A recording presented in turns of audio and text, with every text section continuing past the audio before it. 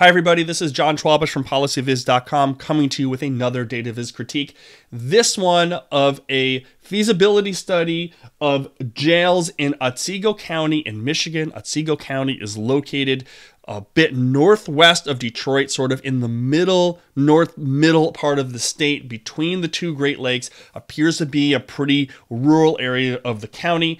This uh, particular deck appears to be created by these two architecture firms. We're going to come back to that in just a little bit. Now, before we go on, just to clarify, I don't know how this presentation deck was presented. I don't know if it was delivered as a PDF or they actually presented it. I don't know myself much about jail construction and what that takes, but I do know a little bit about data visualization and I do know a little bit about forecasting. So we're going to get to that in just a second. Let's skip through these long lists of goals, objectives, agendas, methodologies, and let's get to the first data viz slide. If you're into data visualization, this probably took your breath away for so many different reasons. The most obvious one being what's going on with these bars in the projection period. 2019, the projected population in this county is 24,985. The year before, 24,665. These bars should all be much higher, right? Let's also take a look at the frequency of the data. So we've got decennial data 1970, 1980, 1990, 2000, 2010. And then we're going to throw in 2018 and 2019. So that's not going to be 10 years. And then we're going to pick up another uh, decade uh, sets of projection data. Now, Having said all that, having commented on the terribleness of this particular graph, the projections here make no sense. Look what's happened in population in this county between 2000 and 2019, ignoring the height of this bar. If this number is right, this rate of growth is about maybe 1%, probably way less than 1%. So, why would any of these projection models be reasonable? They make no sense whatsoever, taking into account population data from 1970, 80, and 90 into what we've seen over the previous 20 years. These population projections make no sense. And if you're looking at this graph as a decision maker in Otsego County, this should jump off the page. That even if these bars are up here, there's no reason to expect even this log growth is going to occur. Now, let's get in a little bit further into these graphs. You can see we've got more of the same. We've got all of these grid lines, vertical, horizontal. We've got data labels that are overlapping, different sizes, different fonts, different colors. I mean, it is just a mess. I try to be positive with these critiques. This one is a mess. Now, if you are making time series graphs like this, let me just make one point that, that can probably help you here. If you're mixing frequency of data, right? So 1970, 80, 90, 2000, 2010, 2018, 19, 2020, and then picking up every nine years, you want to space those bars out. You want to space those bars out so we're actually seeing the data as it's actually occurring in the same uh, units, the same frequency over time. All right, let's get a little bit further into these projections because there's some interesting things going on in here that, again, this is not my particular area of expertise, but it's some pretty interesting things going on here. So here's the table of projections. We're going to keep going. Yep, this is taking your breath away, I'm sure. You've got the 3D exploding pie charts. You've got some more of these bar charts. We've got this table here. Let me zoom in. I'm going to zoom in all the way for you. Uh, I'm going to get all the way into that's 425%.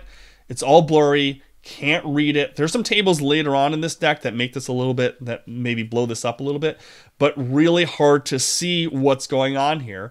Now, notice that they've zoomed into the most recent decade or so. So that to me when you're doing a projection, you want to look obviously historically, but you want to look at the most recent period to see how things are changing because population growth in the 1970s is not necessarily going to be repeated today. I want to get down to just one or two more things in this in this particular deck. Again, all the 3D exploding pie charts you could uh, create on your own. They are just a data viz critiques joy to see all these. We all know, if you're watching this, we all know how to improve these. Let's not use uh, 3D pie charts at the very least because, now why is that? If you don't know, why is that? Because when I look at this graph, for example, over here on the top right, male, female, 25%, 75%, this blue slice is taking up a greater proportion of the screen because of that 3D distortion that's occurred.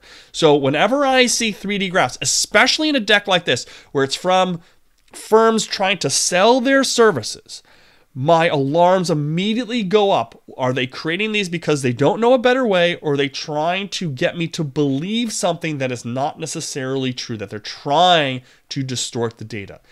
Generally, I sort of don't view these things as malice, but just ignorance.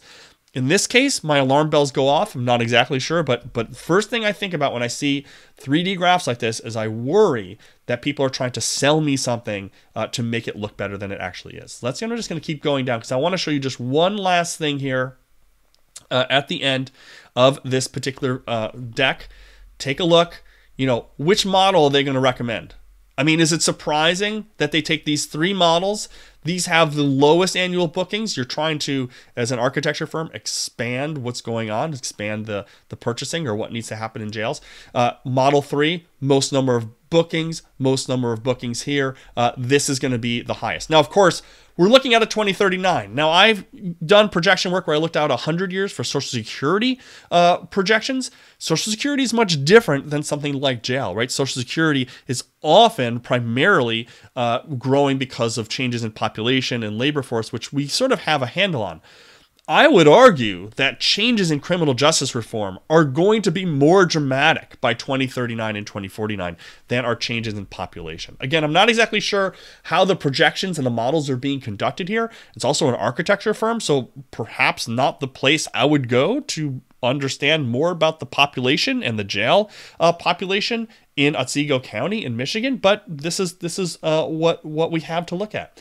I just want to highlight one last thing in the final recommendations, it is believed that the 10 year collection period of data is unreliable for the following reasons.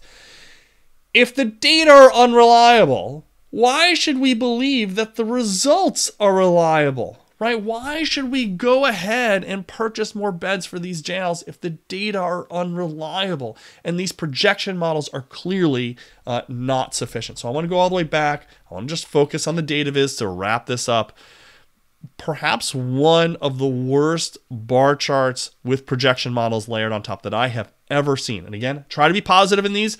Haven't found much to be positive about in this particular slide deck. So hopefully the next time you are making a slide deck, you are making your visualizations, you can do a better job than what's done here. Primarily if you're thinking about what how you're creating your visualizations, make sure the bars are all on the same scale. That's pretty obvious. And get those years, in this case years, to be the same frequency. So you have 10 tick marks between each of these, then 8, then 1, then another 10.